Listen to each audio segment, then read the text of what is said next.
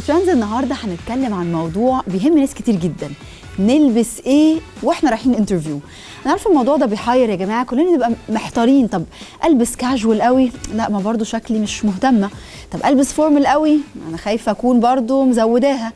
الموضوع ده بيهم ناس كتير والكل بيكون محتار. أنا رأيي خير الأمور الوسط. ولا formal قوي ولا كاجوال قوي. smart casual حلو. بالذات دلوقتي إن كمان بقى في شركات كتير وأماكن كتير بتسمح بلبس ال casual وال smart casual في الشغل.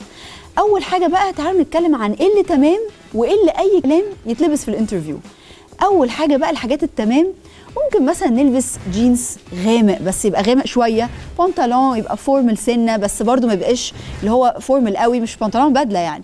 ويبقى عليهم مثلا تي شيرت قطن و blazer blazer يعني مش حاجة بتلمع قوي بس تبقى حاجة برضو إيه شكلها smart casual ده يبقى تحفة.